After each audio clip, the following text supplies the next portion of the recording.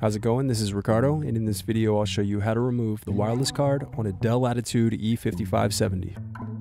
If you're looking for parts for this laptop, go to our website and use this coupon for a 5% off discount.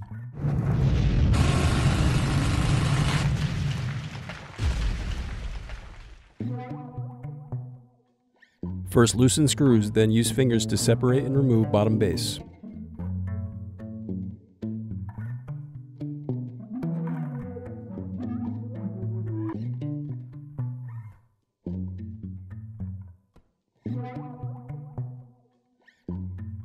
Now unscrew and disconnect battery.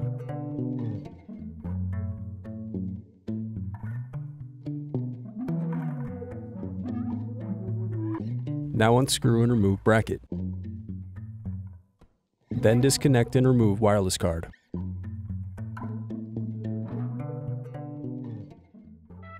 Thanks for watching. Don't forget to like and subscribe if you enjoyed this video. And if you need more, check out this playlist to watch other tutorials for your laptop.